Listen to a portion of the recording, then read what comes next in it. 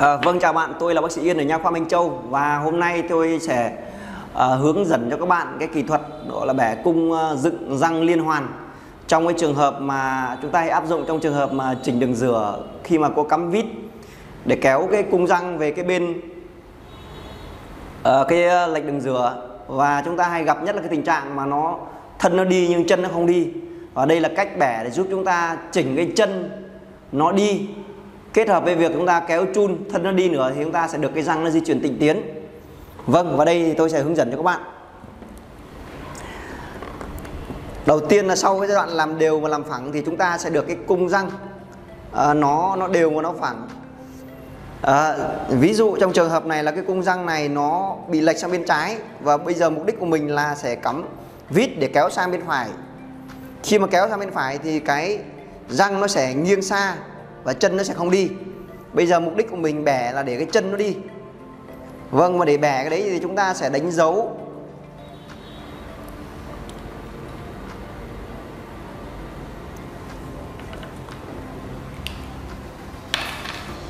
Chúng ta sẽ đánh dấu ở phía gần, phía xa những cái răng này.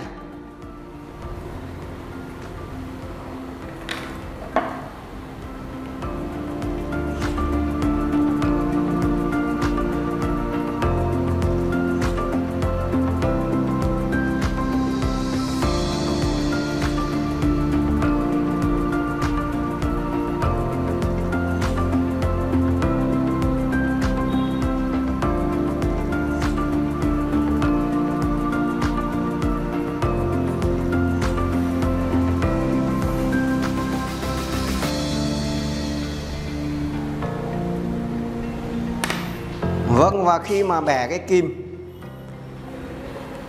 cái kim chỉnh này thì nó có cái phần uh, cao phần thấp. Chúng ta sẽ xem cái mục đích của chúng ta là bẻ cái phần cao phần thấp ở phía nào. Ví dụ như cái răng này tôi muốn chân nó về phía xa tôi tôi sẽ đẻ cái phần thấp ở dưới phần cao ở trên. Đây và như các bạn thấy là tôi sẽ bẻ từng răng một. Vâng đầu tiên là chúng ta sẽ bẻ cái răng 32 trước. Đấy thì sau khi bẻ xong thì chúng ta thấy là nó có cái bậc thấp xuống dưới và bậc cao lên trên. Thì đây là một cái bẻ tít để chỉnh một cái răng đơn lẻ. Còn chỉ răng liên hoàn thì chúng ta sẽ bẻ liên tục như vậy.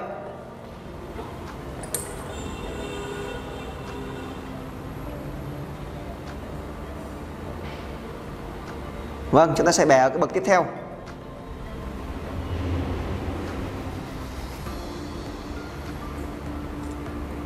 Vâng, chúng ta sẽ được hai bậc. Tương tự như thế, chúng ta sẽ có bậc thứ ba và bậc thứ tư. Tôi thường hay gặp nhất là nghiêng bốn cái răng cửa. Vâng, đây là bậc thứ ba. Vâng, và cái bậc thứ tư là cái dành cho cái răng thứ tư.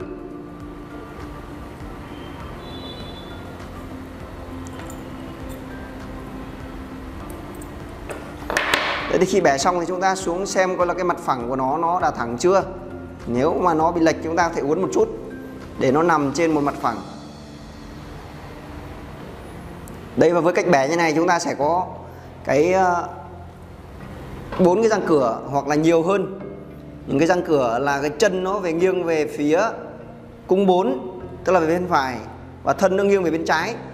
Kết hợp khi chúng ta ờ, kéo bằng chun thì nó sẽ di chuyển tịnh tiến cái răng này theo cái mong muốn của chúng ta.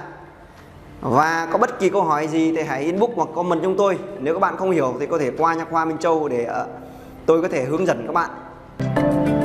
Vâng xin chào và hẹn gặp lại.